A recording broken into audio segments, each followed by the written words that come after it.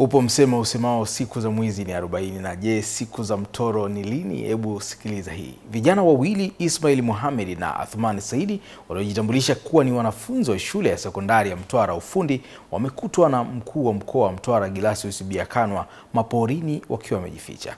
Goza Chuma anayokisa hichi zaidi.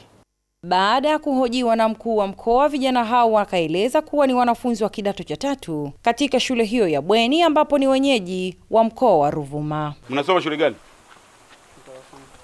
Mtwara Fundi. Hapa ni shuleni? Mnafanya nini hapa?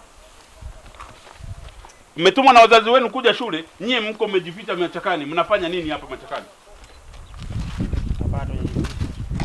Hamjajificha, hapa ni shule. Kidato cha ngapi?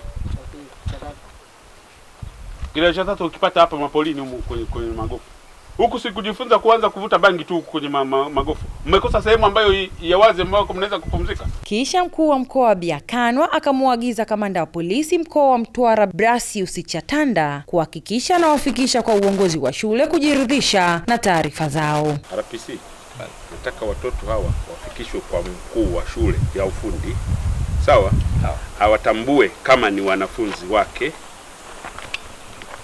Tumewakuta polini, wao wamesema hawajaripoti shuleni, uhakikishe wamepewa adhabu ya shule ya kutokuwepo, na akisema sio wanafunzi wake tujue hatua ambazo tunaweza kuzichukua. Mkuu wa mkoa wa Mtwara Byakanwa amekuwa na ziara kukagua miradi inayotekelezwa na wamiliki katika shule za manispaa ya Mtwara Mikindani, ikiwa ni pamoja na mradi uliopo katika mesi ya polisi maarufu kama Makonde Beach na eneo la jeshi la wananchi JWTZ lililopo ufukweni mwa bahari.